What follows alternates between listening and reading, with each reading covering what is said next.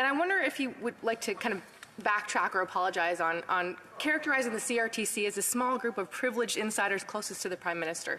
Um, and I would also ask him if he would like to define the word woke. I asked one of his colleagues as well for that definition, and I'd like to see what he has to say. Thank you. Actually, I, I, will backtrack. It is a big group of insiders, Madam Speaker.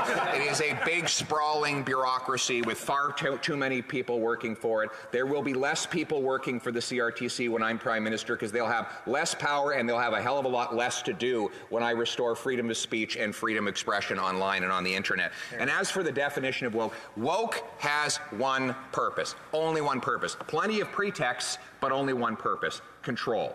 It is designed to divide people by race, by gender, by ethnicity, by religion, by vaccine status, and any other way that they can divide people into groups. Because why? Then you can justify having a government to control all those groups. No more woke. We need freedom.